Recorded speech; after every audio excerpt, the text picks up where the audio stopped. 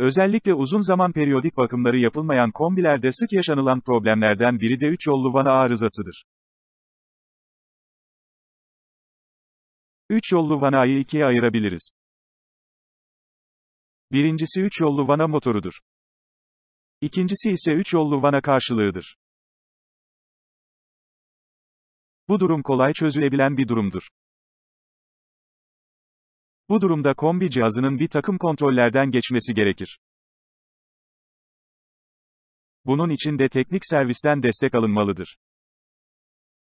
Kombide 3 yollu vana çalışma prensibi nedir? 3 yollu vana yalnızca çift eşanjörlü kombilerde bulunup, sıcak su ile kalorifer konumunu birbirinden ayırma görevini yapan bir kombi ekipmanıdır.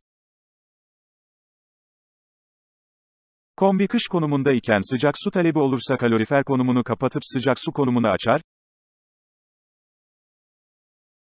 Sıcak su talebi sonlandığında ise sıcak su bölümünü kapatıp kalorifer konumunu açar.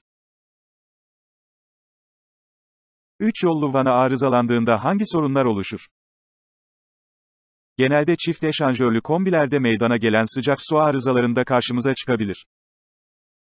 Ayrıca görevi gereği sıcak su ile kalorifer konumunu birbirinden ayırdığı için sıcak su kullanımında kalorifer konumu kapalı olmasına karşın suyu tesisata kaçırabilir ve tüm kaloriferlerin ısınmasını sağlayabilir.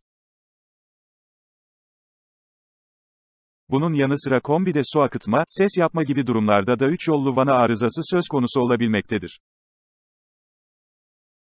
3 yollu vananın arızalanma sebepleri nelerdir? Zaman içerisinde aşınmadan kaynaklı, sudaki kireçten kaynaklı iç takımı arıza yapabilir.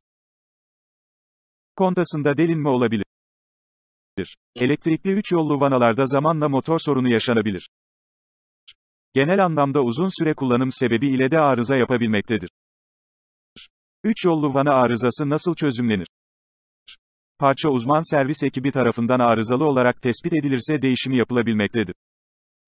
Kombi kullanıcısı onayı alınarak sıfır parça ile değişimi yapılır ve mevcut arıza çözümlenir.